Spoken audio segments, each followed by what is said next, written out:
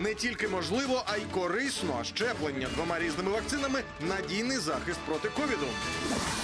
Крок у зворотньому напрямку. Євросоюз та Україна про вихід Білорусі зі східного партнерства. Синьо-жовті переможуть. Поєдинок Україна-Швеція сьогодні завершує одну восьму фіналу Євро 2020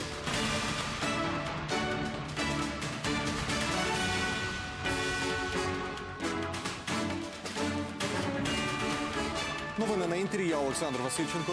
Добрий день.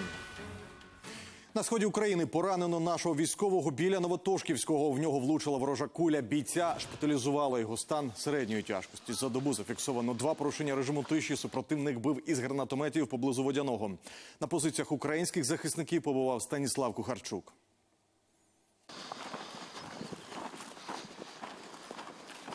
Прикриваючись густою посадкою та високою травою, Максим прямує перевіряти спостережний пост. Його підрозділ захищає Маріупольський напрямок у полях неподалік села Старогнатівка. Ворога наші вояки тримають тут у тонусі і показувати зуби не дають. Тільки заїхали. Дату вони там спочатку там, з СПГ-9 обстріляли, там, стрілкотні. Ну, дуже, дуже так інтенсивно, кстати, обстрілювали. Я так зрозумів, ми зайшли, типу, хотіли показати, хто тут, типу. Типу, головний, як би. І визначились, хто головний. Ну. Да. Останнього разу ворог гатив тут із мінометів кілька тижнів тому, але отримав рішучу відсіч.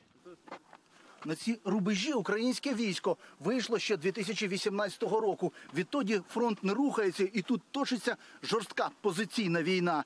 Це дало змогу противнику пристріляти кожен квадратний метр нашої оборони. Тут поранили українського бійця, та у його підрозділі кажуть, хлопець народився в сорочці. Прилетіла граната метра півтора від нашого військовослужбовця. Получив контузію, е, поранення осколки. Надіємося, скоро буде з нами. Юрій уважно спостерігає за укріпленнями ворога. Поки на цій ділянці працює спостережна місія ОБСЄ, противник з окопів намагається не виходити. Ну, у них постоянно проходит тут ротация раз в месяц, пол- где-то примерно. Ходят налегке на, на данном участке. Ну, Такое ощущение, что что-то они ждут. Или что-то мы ждем. Ну, как-то подозрительно, как по мне. Станіслав Кухарчук, Сергій Дубінін, Валерій Соловчук. Новини телеканал Інтер. Донецька область. Верховна Рада сьогодні двічі збереться на засідання. Крім запланованого, проведуть ще й позачергове о 16-й годині. Його ініціює президент Володимир Зеленський. На порядку денному сім законопроєктів, зокрема про критичну інфраструктуру, основи національного опору та збільшення численності збройних сил України. 182 нових інфікування ковідом в Україні ушпиталили. Понад три сотні хворих померли. П'ять людей найбільше підтверджених діагнозів у столиці. Протягом минулого тижня в Україні вакцинувалися майже 400 тисяч українців. Загалом від початку кампанії 2,5 мільйони. Попри низькі показники захворюваності, лікарі радять зробити щеплення, доки чергова хвиля ковіду не накрила Україну. Адже у світі, зокрема у сусідній Росії, шириться індійський штам Дельта. Про його особливості Ольга Клюєва. Попри те, що Катерина Булавінова нещодавно тяжко перехворіла на ковід і має антитіла, лікар одразу зробили щеплення, щоб посилити захист організму. Я переболела коронавирусом, очень тяжело болела, была на кислородной поддержке, получала кислород больше 20 дней и эм, однозначно вакцинировалась сразу, как только первая же вакцина оказалась доступной для меня. Напередодні нової хвилі епідемії експерти радять встигнути зробити щеплення, адже це незалежно від штаму, який прийде в Україну, захистить або принаймні полегшить перебіг хвороби. Безусловно, существует опасность следующей волны коронавируса. Эта волна может произойти уже в конце лета, может произойти осенью. Лікарі не сумніваються, що до кінця літа в Україні домінуватиме індійський штам Дельта, який нині лютує в Росії. Цей різновид коронавірусу удвічі швидше передається і істотно відрізняється за симптомами від уханського штаму. У разі інфікування людина майже ніколи не втрачає нюх, а симптоми з'являються вже наступного дня. Частіше саме індійський штам вражає дітей та підлітків. А саме ці категорії наразі не можна вакцинувати більшістю наявних у світі вакцин, крім одного препарату Pfizer. Некоторые страны уже начали вакцинировать детей от 12-летнего возраста и вакцинируют их достаточно успешно этой вакциной. В Украине такая вакцинация еще не началась, потому что в Украине мы еще пока не вакцинировали основные группы риска. В українських ковідних реанімаціях наразі багато вільних місць. Минулого тижня в столиці декілька днів поспіль не фіксували жодного смертельного випадку від коронавірусної хвороби. Втім, лікарі знають, перепочинок буде недовгим. Зараз таке затища. Хочемо ми цього чи не хочемо, але четверта, п'ята, шоста хвилі вони обов'язково будуть. Це лише питання часу, коли е, нові штами.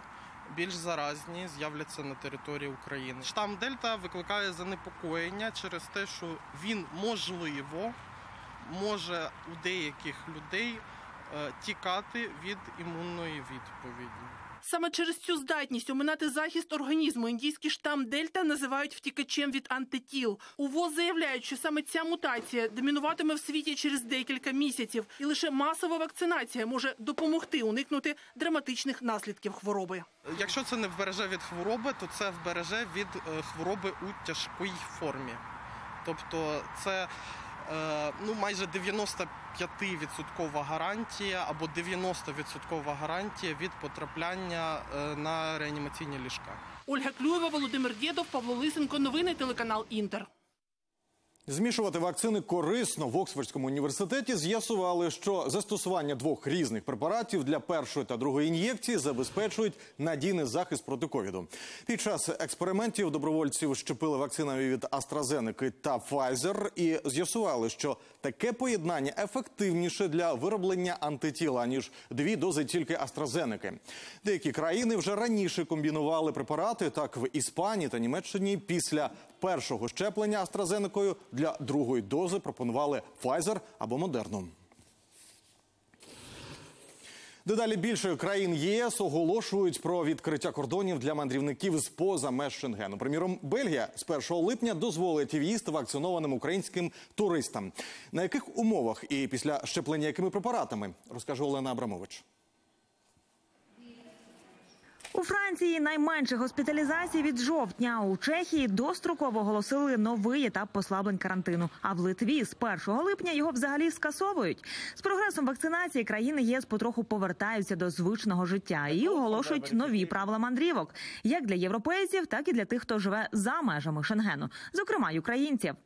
Головна відмінність правил перетину кордону для країн шенгенської зони для жителів ЄС і тих, хто живе поза блоком, це вакцинація.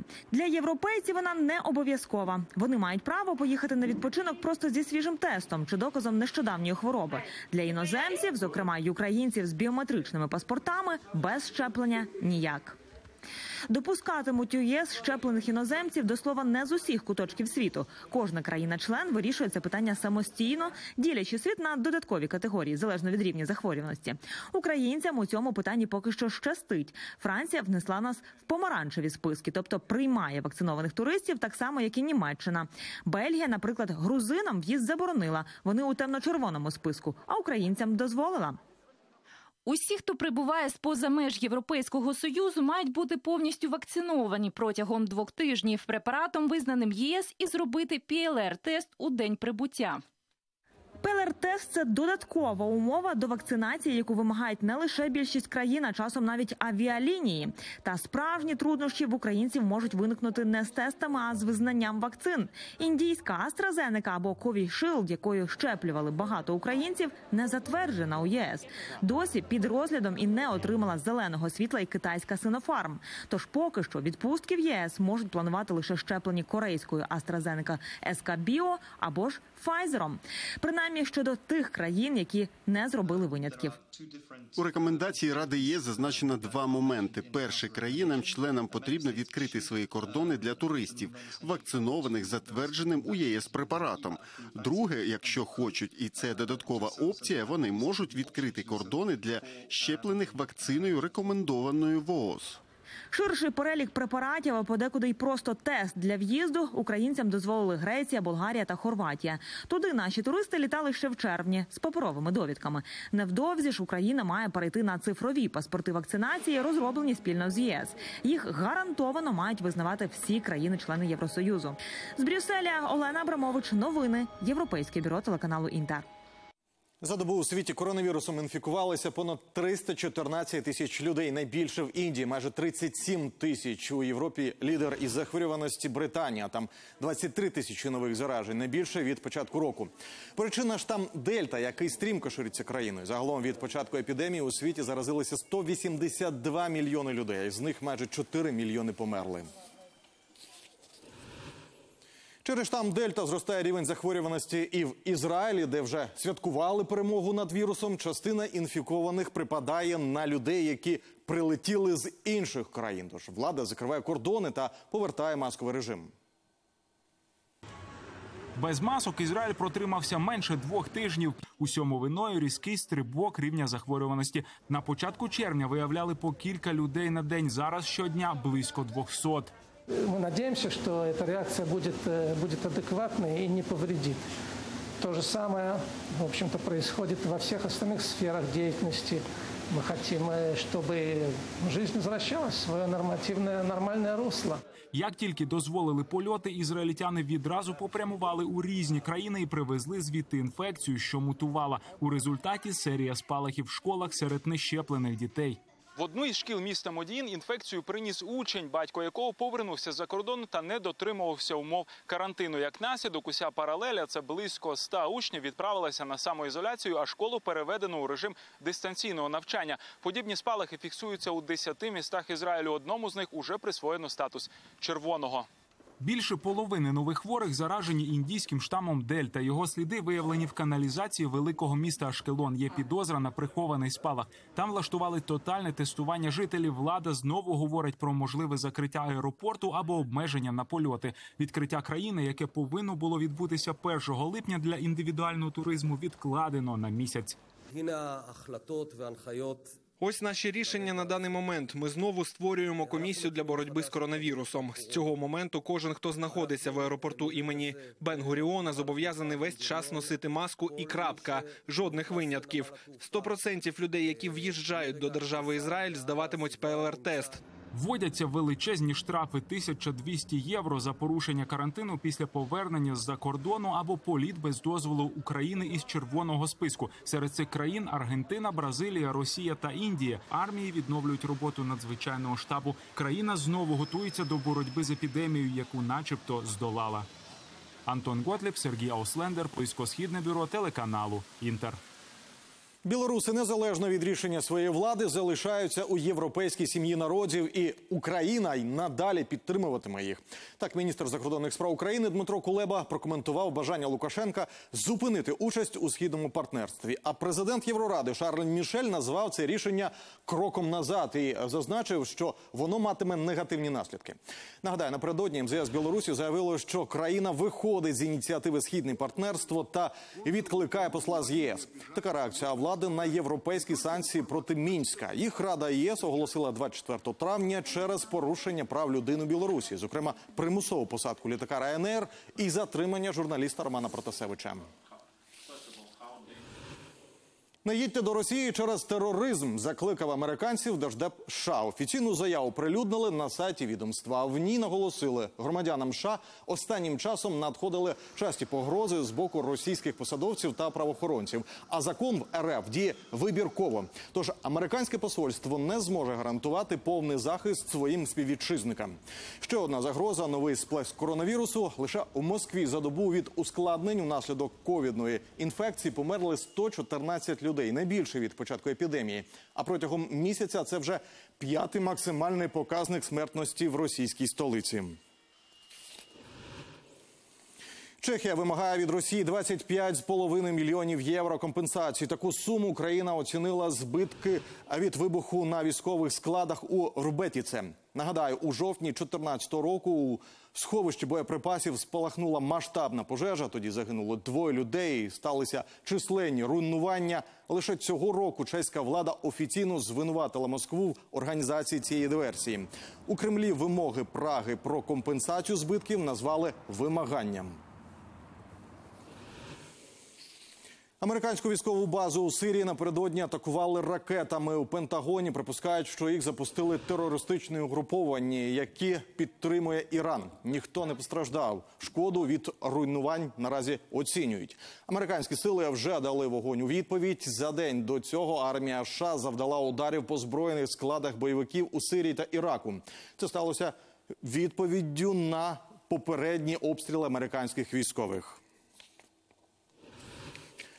Парад медалей для українських миротворців у Конго. Місія ООН нагородила 250 наших вартолітників, десантників та піхотинців. Ці відзнаки, зокрема, і за порятунок багатьох життів під час останнього виверження вулкана. Подробиці матеріалі Геннадія Вівденка.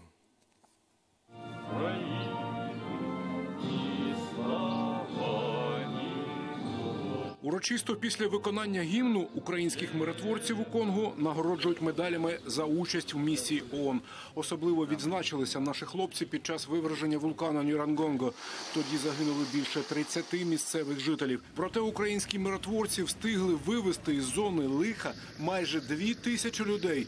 в момент е, надзвичайних ситуацій, а саме в момент виверження вулкану, лише наш вертолітний загін один залишався на території аеродрому Гома і продовжував виконувати завдання. Миротворча місія запам'яталась мені набуттям нового досвіду у забезпеченні миру та безпеки Демократичній Республіці Конго, а також під час техногенної катастрофи виверження вулкану, а також забезпечення евакуації населення. В Конго триває громадянська війна, тож місія проходить у надскладних умовах. Серед українських миротворців цієї ротації є втрати. Ми втратили трьох військовослужбовців, наших побратимів. Прошу шанувати пам'ять наших загиблих військовослужбовців, побратимів хвилиною мовчання. Головні убори зняти. Службу у миротворчих силах в цій неспокійній країні вже пройшли тисячі українських військовослужбовців. Ця 12-та ротація має повернутися додому за три місяці. Проте запит ООН на збільшення українського контингенту та кількості наших вертольотів в цій країні вже є. І РНБО заявила про підтримку ініціативи. Геннадій Вівденко, телеканал Інтер. Шість людей постраждали від масштабної пожежі в Лондоні. Вони отрилися чадним газом. Одного довелося ушпиталити. Решті надали допомогу на місці. Напередодні 15 пожежних машин і близько сотні вогнеборців дві години не могли приборкати полум'я. Як усе відбувалося, розповість Світлана Чернецька.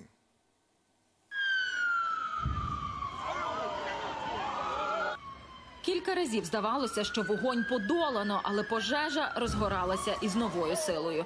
Це район and Castle на південному сході Лондона. Він доволі густо заселений та має велику транспортну розв'язку. Спалахнули гаражі під залізничною аркою. Дощенту згоріли три комерційні точки разом із шістьма автівками та телефонною будкою. Лише подивіться, який дим валить з попід шпал. Це зовсім поруч від залізничної станції. Цю пожежу було видно за кілька кілометрів. Понад дві години з нею боролися близько сотні офіцерів. І після того, як вогонь нарешті вдалося загасити, бригади залишились на місці, щоб не сталося повторного загоряння. Усі відійдіть назад, можуть бути ще вибухи. Всі навколишні вулиці залишаються перекритими, а кілька сусідніх будівель довелося евакуювати. Загалом у районі радять не відкривати дверей та вікон. Його оповив їдкий дим. Причину пожежі поки що не встановили, але на місці інциденту знайшли каністри з невідомим вмістом. А місцеві мешканці кажуть, що чули кілька вибухів. У поліції не вважають, що пожежа пов'язана з тероризмом. Світлана Чернецька, Юрій Романюк, британське бюро телеканалу Інтер. Захід Канади та частину США накрила небувала спека. У канадській провінції Британська Колумбія зафіксували близько 47 градусів. Рекордні за останні 84 роки. І це не межа, кажуть синоптики. В американських містах Сіетл і Портленд, де зазвичай дощить та прохолодно, температура сягнула 40 градусів. Жителів попереджають, аномальна спека триматиметься щонайменше до кінця тижня. Закликають перебувати у затінку і пити достатньо води. Не тільки сонячними пляжами і теплим морем готуються зустрічати туристів Кіпр. Відпочивальникам пропонують побачити поля, де цвітуть запашні і цілющі трави. Які саме? Дивіться.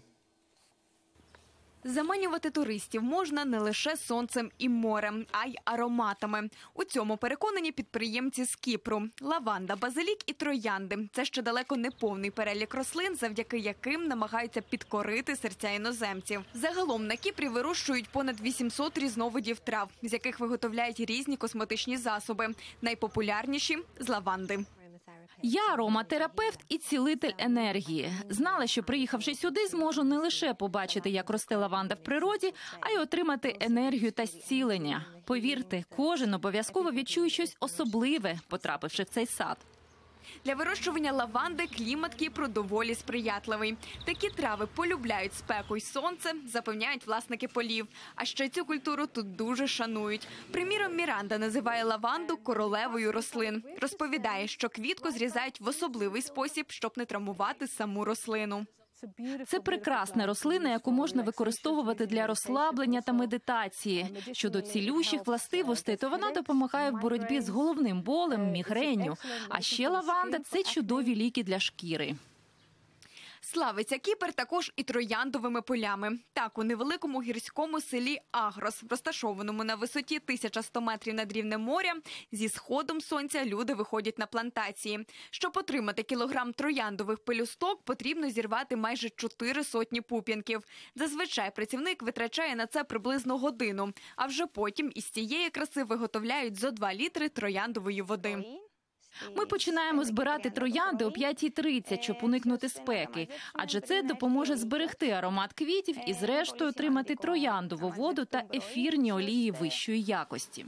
У доковідний період власники плантації отримували прибуток не лише від продукції, а й від екскурсій для туристів. За день на одне підприємство привозили з десяток автобусів мандрівників.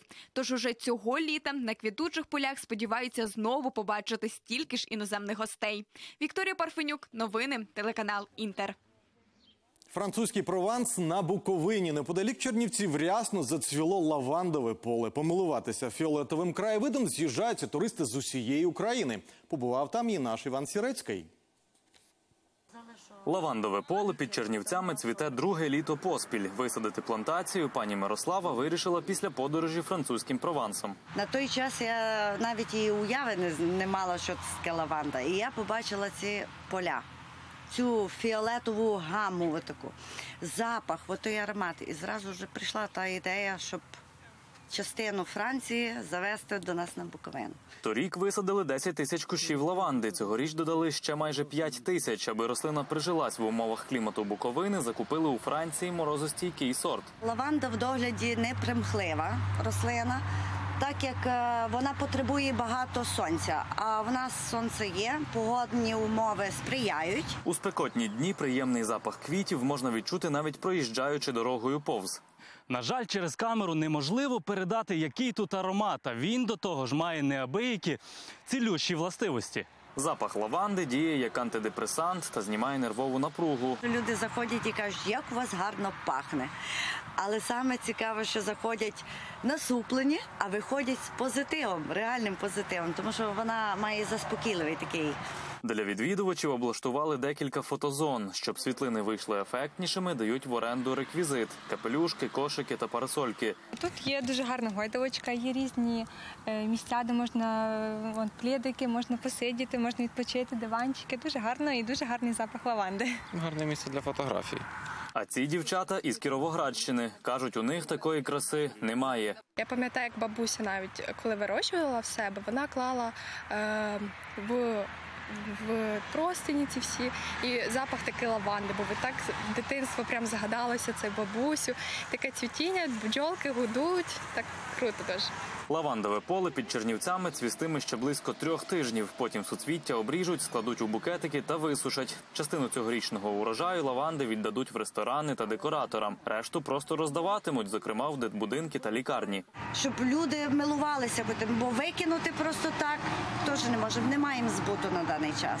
У нас немає тих переробочних заводів. У наступному році поле планують зробити різнобарвним. Для цього закуплять нові сорти лаванди білого та рожевого кольорів. Іван Сірецький, Ігор Ріга, телеканал Інтер, Чернівецька область. Українська збірна з футболу сьогодні зіграє зі шведами в одній восьмій чемпіонату Європи. У груповому турнірі команда Андрія Шевченка посіла третє місце в групі, але з нього зуміла вийти у плей-офф. У чвертьфінал вже вийшли Чехія, Італія, Бельгія, Іспанія, Швейцарія, Данія. Матч Україна-Швеція відбудеться у Глазго. Його початок о 22-й. Зичимо тільки перемоги нашим хлопцям і віримо в їх сили. О 17.40 перші підсумки дня підбиватиме Ольга Саса. Я прощаю з вами до завтра. Вдалого дня.